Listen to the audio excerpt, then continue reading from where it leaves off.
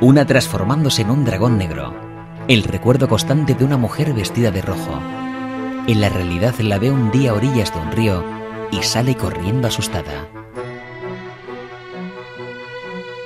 Ya a la venta en editorialcirculorrojo.com.